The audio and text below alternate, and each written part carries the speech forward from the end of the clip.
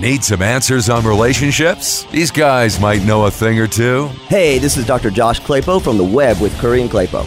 The Web won't air Saturday at its regular time, but we have a new podcast, The Web Unprotected.